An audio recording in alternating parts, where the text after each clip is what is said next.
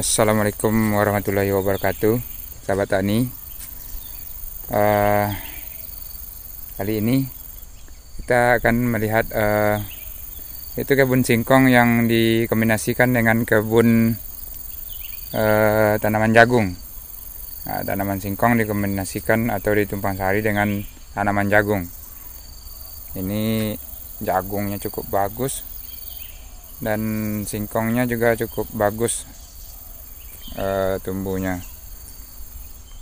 Nah, ini singkong. Ini uh, caranya yaitu uh, dengan sama uh, waktu tanamnya. Jadi singkong ditanam jagung juga ditanam. Nah, jadi kalau misalnya ingin mendapatkan keduanya bagus-bagus ya harus sama penanamannya. Uh, kalau misalnya dibeda-bedakan atau yang satu didahulukan yang satu di uh, kemudian kita tidak akan bisa melihat uh, hasilnya seperti sekarang. Jadi kalau misalnya uh, singkongnya lebih dahulu singkong ini akan tumbuh cepat besar. Uh, makanya nanti jagungnya nanti uh, akan tidak uh, berkembang dengan maksimal. Atau kita dahulukannya jagung maka singkongnya juga tidak akan tumbuh dengan maksimal. Dia akan tumbuh lambat perkembangannya. Nah ini sistem tanamnya itu mungkin jarak singkong antara singkong yaitu uh, 2 meter. Jadi singkong dengan singkong lagi 2 meter.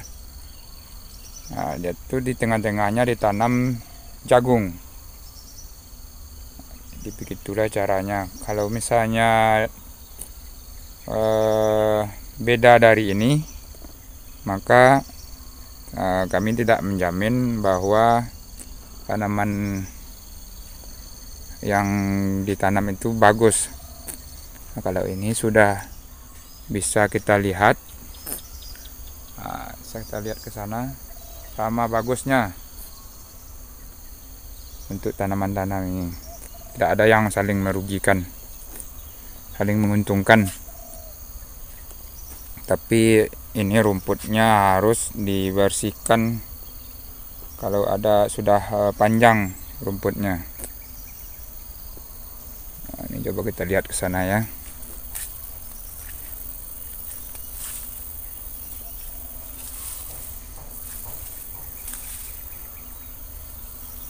Singkongnya cukup bagus tumbuhnya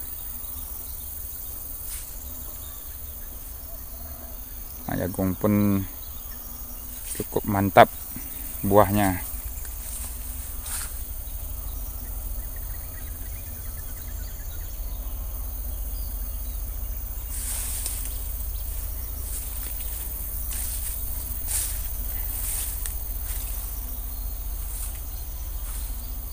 Nah, jadi supaya uh, tanaman singkong dan jagung ini tidak uh, ada airnya ketika uh, hari itu musim hujan.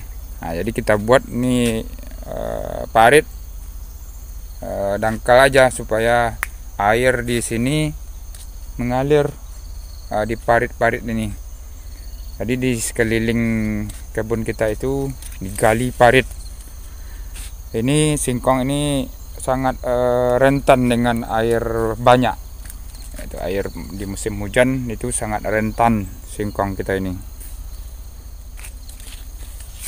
Nah, mungkin kalau misalnya uh, singkong ini terendam air itu uh, akan uh, busuk atau bisa mengakibatkan uh, tanaman itu mati. Dan juga uh, untuk menanam singkong ini uh, kita harus uh, dipupuk singkongnya. Tidak bisa kita tanam dan kita nantikan hasilnya saja. Nah, jadi singkong ini harus dipupuk uh, paling enggak dua kali pemupukan. Nah, dua kali pemupukan. Jadi jagung juga dipupuk dengan dua kali pemupukan seperti biasa. Nah, untuk uh, singkongnya juga dipupuk. Jadi jarak antara singkong dengan singkong ini mungkin sekitar satu setengah meter. Satu setengah meter atau satu meter juga boleh. Atau satu setengah meter. Antara antara uh, bedengan yang satu dengan bedengan singkong yang satu lagi yaitu mungkin 2 meter. Nah, di tengah-tengahnya baru ditanam jagung.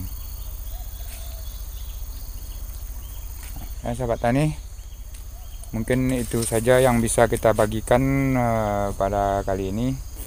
Uh, mudah-mudahan sahabat tani bisa mendapatkan pelajaran dan manfaat dari video ini.